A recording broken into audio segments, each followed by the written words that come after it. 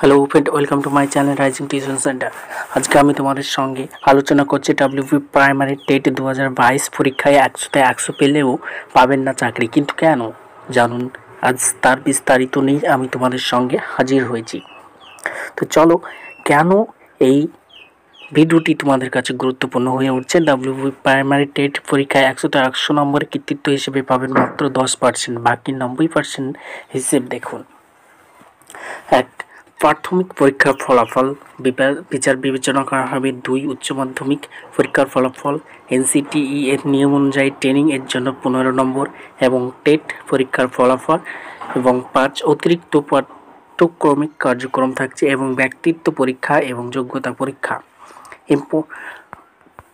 এইগুলো ইম্পর্টেন্ট কিছু থিংস দেখলে আপনাদের যোগ্যতা বিচারের জন্য বিবেচিত হবে। প্রাইমারি টেট পরীক্ষা একশো তো একশো নম্বরের কৃতিত্ব হিসেবে মাত্র পাবেন দশ পার্সেন্ট বাকি নব্বই নম্বর হিসেব দেখুন। অনলাইনে আবেদন প্রক্রিয়া ইতিমধ্যে শুরু হয়ে গেছে। যদি আপনি প্রাইমারি টেট পরীক্ষায় একশো নম্বরের মধ্যে একশো পার্সেন্ট পান, অর্থাৎ একশো পঞ্চাশে একশো পঞ্চাশ পান, কিন্তু আপনার চাকরি পাওয়ার নিশ্চয়তা নিশ্চিত নয়। প্রাথমিক বিদ্যালয়ে পড়ানোর কাজ খুব একটা সহজ নয়। মানুষের মনের বিকাশ এই প্রাথমিক বিভাগেই থেকেই শুরু হয়। এক্ষেত্রে চাকরি পাওয়া সত্যি ভাগ্যের বিষয়। এই ডাব্লিউপি পরীক্ষায় টেট পরীক্ষায় কেবলমাত্র একটি অংশ। আপনাকে আরও ষাট পার্সেন্ট নম্বর পেয়ে প্রমাণ করতে হবে যে আপনি এই চাকরির যোগ্য।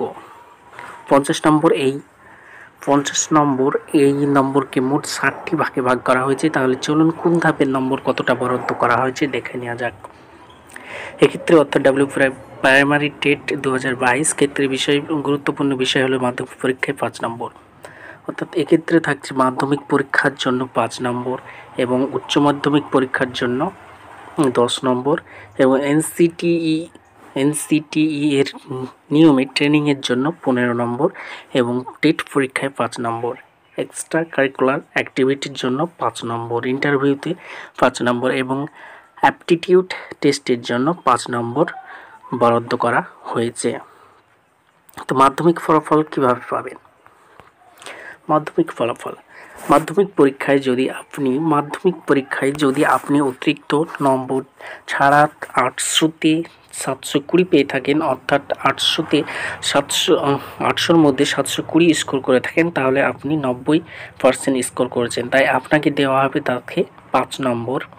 নম্বরে নাইনটি পার্সেন্ট অর্থাৎ প্রথম সেগমেন্টে আপনার স্কুল পাঁচের মধ্যে হবে ফোর পয়েন্ট ফাইভ এছাড়াও যদি কোনো প্রার্থী অতিরিক্ত নম্বর ব্যতীত মাধ্যমিকে আটশোতে চারশো নম্বর পেয়ে থাকেন, অর্থাৎ আটশোতে চারশো স্কোর করে থাকেন, তাহলে আপনি স্কোর করেছেন পঞ্চাশ পার্সেন্ট। অর্থাৎ এই আপনাকে, এই পঞ্চাশ পার্সেন্ট মানে আপনাকে দুই পয়েন্ট পাঁচ পার্সেন্ট নাম্বার দেওয়া হবে।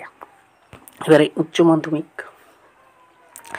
উচ্চ মাধ্যমিকের ক্ষেত্রে থাকছে প্রাইমারি টেট এর প্রাথমিক পরীক্ষার মতন সমানভাবে নম্বর দেওয়া হবে। এছাড়াও যদি কোনো প্রার্থী উচ্চ মাধ্যমিকে ষাট পার্সেন্ট স্কোর করে, তাহলে পাঁচের ভিত্তিতে সেরা হবে।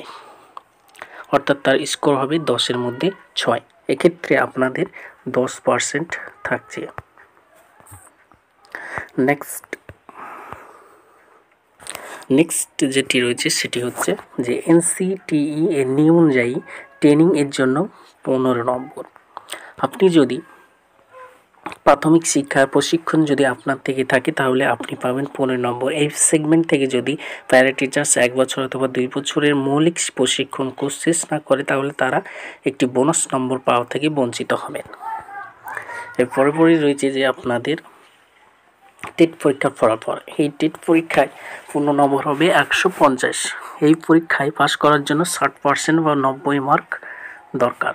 আপনি পেয়েছেন ধরুন টেট পরীক্ষা আপনি যদি একশো কুড়ি নম্বর পেয়ে থাকেন, তাহলে আপনি পেয়েছেন আশি নম্বর আশি পার্সেন্ট এবং আপনাকে পাঁচ নম্বরের আশি পার্সেন্ট অর্থাৎ ফাইভ এর মধ্যে আপনাকে চার দেওয়া হবে। ফাইভ অতিরিক্ত পাঠ্যক্রম অতিরিক্ত পাঠ্যক্রম। যদি আপনার ডাব্লিউপি প্রাইমারি টেট পরীক্ষায় কথিত প্রাথমিক স্তর চাকরি ক্ষেত্রে এনসিসি সি সার্টিফিকেট থেকে থাকে, তাহলে আপনি পেয়ে যাবেন পাঁচ মার্কের মধ্যে পাঁচ নম্বরে। এনসিসি বি এবং এনসিসি এ সার্টিফিকেটের জন্য আপনি পেয়ে যাবেন যথাক্রমে তিন এবং এক নম্বর। এছাড়াও যদি আপনার রাজ্য বা জাতীয় স্তরে ক্রিয়া প্রশাস শংসাপত্র সাংস্কৃতিক সার্টিফিকেট থাকে থাকে, তাহলে আপনি এই বিভাগে যোগ্য হবেন। পর্বত আরোহণ প্যারা গ্লাইডিং, বোরিং পাইলট প্রশিক্ষণ যদি আপনার কোনো কার্যক্রম থেকে থাকে, তাহলে আপনি এই বিভাগে পড়বেন। কিন্তু যদি কোনো চাকরির প্রার্থী, কম্পিউটার সার্টিফিকেট থাকে, তাহলে ঠিক পার্থক্য বহির্যোগের যোগ্যলাভ হিসেবে মান্য করা হবে। অর্থাৎ এক্ষেত্রে কোনো নম্বর দেওয়া হবে না। ব্যক্তিত্ব এবং যোগ্যতা। এই পরবর্তীতে আপনার আসছে যে ব্যক্তিত্ব এবং যোগ্যতা।